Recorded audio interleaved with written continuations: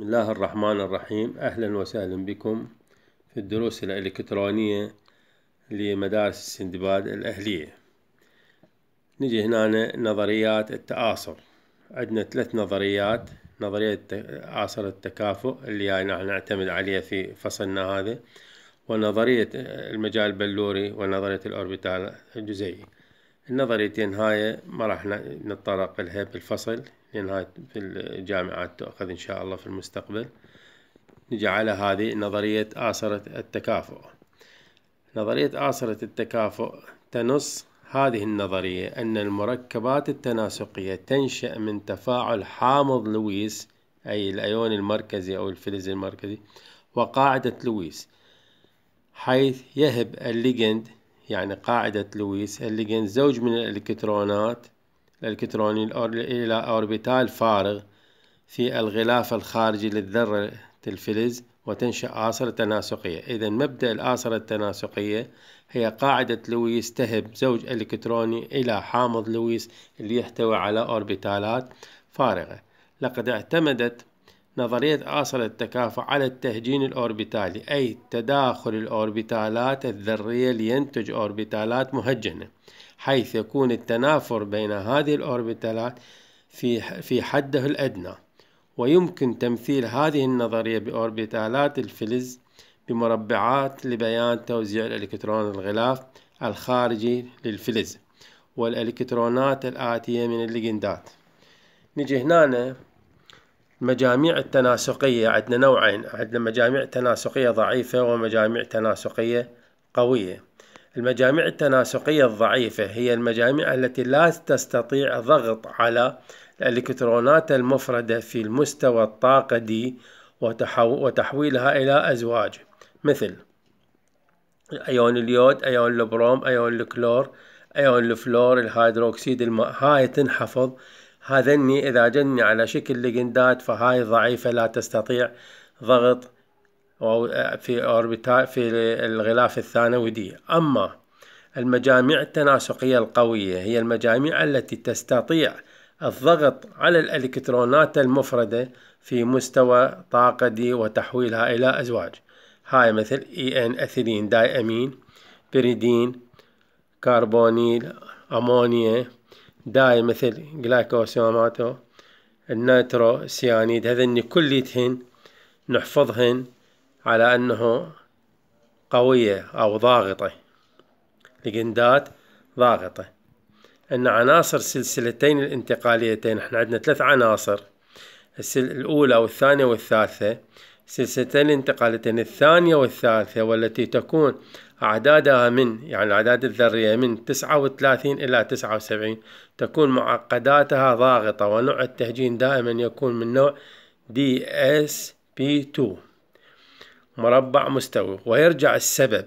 هنا بهاي السلسلتين ما عندنا ضعيف وقوي كلها تكون ضاغطة. كل الليجندات حتى اللي تجينا الليجندات الضعيفة من تجي راح تكون قوية في هاي السلسلتين. الثانية والثالثة واللي تبدأ من تسعة وثلاثين العدد الذري للعناصر من تسعة وثلاثين إلى تسعة وسبعين.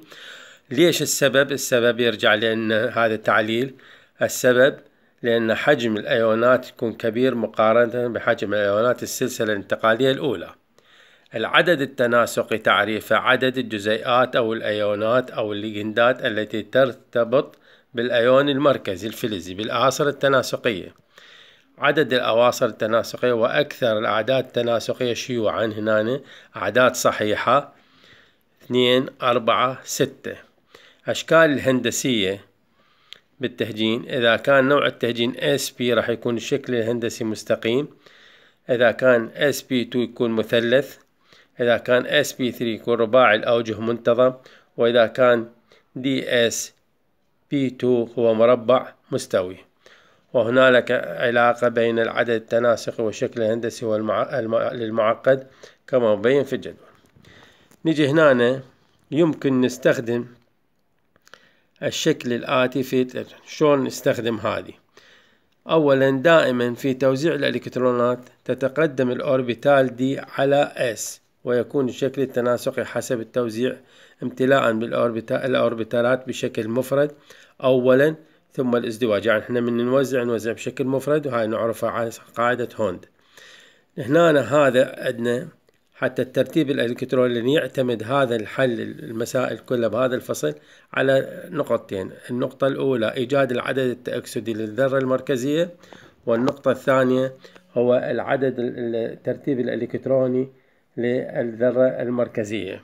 فإذا كان عندنا العدد الذري أكثر من 18 نقدر نستخدم هذا الرمز ال Ar أي الأرجون العدد الذري ماله اي فهنا نقدر نحفظ هذا لازم ينحفظ.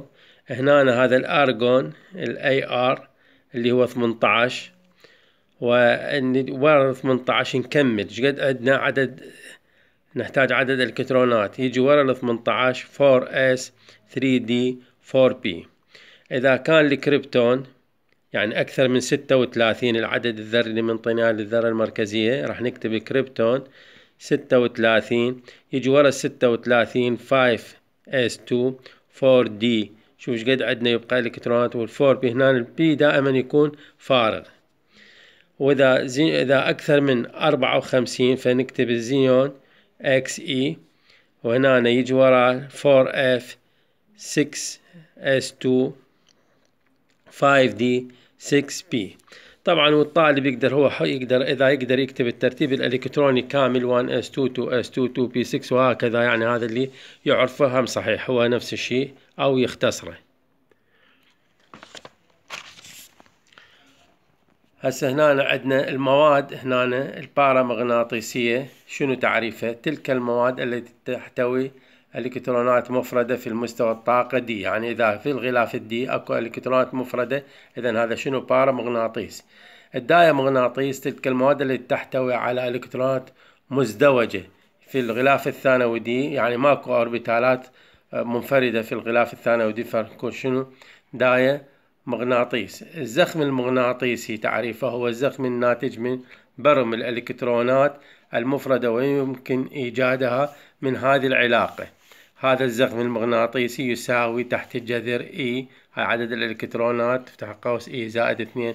هذا القانون يحفظ حتى نحل عليه المسائل وشكرا.